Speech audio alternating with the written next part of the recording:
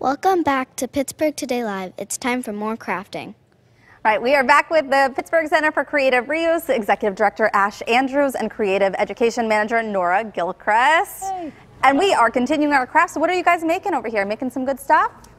Cool, cool. Anything good? And everybody having fun though, right? Yeah. yeah. I see like we're it. making medals down here. Yeah. Yeah, okay. You guys have a lot of really cool stuff coming up. We sure do. Yeah, Got some programs coming up, Nora. We do. So um, one thing that we're doing this weekend is with um, Trying Together. We're going to be at the Homewood Early Learning Block Party, and that's in Homewood, obviously. That's on Saturday. Um, we're, we're also going to be part of the Remake Learning Days, which is coming up next month, not until May, but it's a good thing to start looking into and um, checking that out online. We'll have our own Creative Conundrum Lab at Creative Reuse on May 19th, 2.30 to 5.30. What is we'll be, that? It's basic, basically we choose some kind of material that is really interesting and unusual and we explore the possibilities of it. So we pick something and then just kind of see where we can take it. We come prepared with examples, but then we see, you know, what okay. the creative imaginations of the people who show up come up, come up with. And so what do you do with some of the kids that may come in and maybe they're having trouble getting started? They see some cool stuff that they like, they're touching it, they're feeling, but they don't know what to do.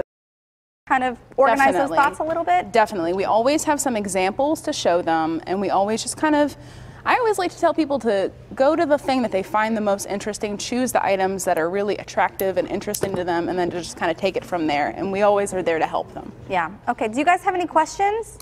No? What are you What are you making down here? Um, I think a flower crown headband. Okay, you're gonna let let just see what it where it takes you. Okay, all right. And I, I think it's important to mention too, because I know we've talked to you about this before, but you do programs for adults as well. We do. Oh yeah, absolutely. If adults are interested in having birthday parties or us come by for the graduation party, you can call us up and we'll put together something age appropriate and really interesting for everybody. And you do crafts and bars? Sometimes we do crafts in bars also.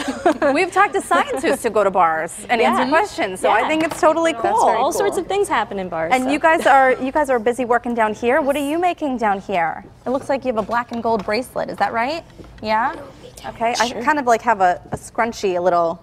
Should I should I do this? Yeah. Should I go? Yeah. Should I go for it? Yeah, we oh yeah. Okay, really nice. that's cute. We'll just kind of give it one of these. Adorable. Really okay. what, do, what, do, we think? Does that work? So that's yes. working for me. Really Definitely. Okay. So that's a pom pom attached totally. to a gum band. what, it's a pom pom attached to a gum band. Yeah. Here you mm -hmm. go. Nice. Is it a good look for TV?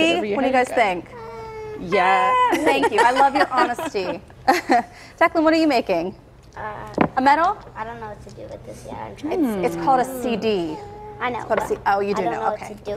we had an example here of something we made with a CD, kind of like a sun catcher that you can maybe dangle outside or somewhere that the sun will catch it and be interesting in the garden or something. Oh, so maybe yeah, you could you do that. Very in neat. your garden, then the birds won't come in mm -hmm. and eat all your mm-hmm. strawberries. That's a good point. Yeah. And what are you making? You made like a little flower headdress. Flower headband, and then I put pom poms on my shoe. Oh, that.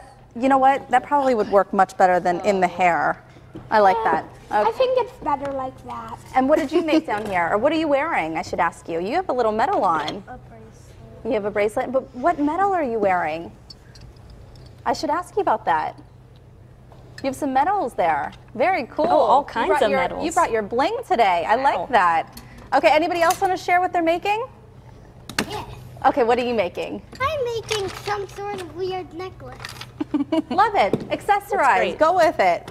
Okay, well, thank, and, and so any else, anything else we should know about? You mentioned before in the last segment about the $5 Oh yeah, thing. Reclaim on May 12th. Okay. That's, that's a $5. Take as much materials as you want, uh, $5. And then also all May long, we're having a yarn sale. So for oh, $15, good. you can fill up a huge size bag, all sorts of different yarn, acrylic, wool, and so forth for just $15 all May. Okay, sounds good. Thanks guys for coming in. You guys can finish your your projects here, your crafting. We'll see what you made towards the end of the show.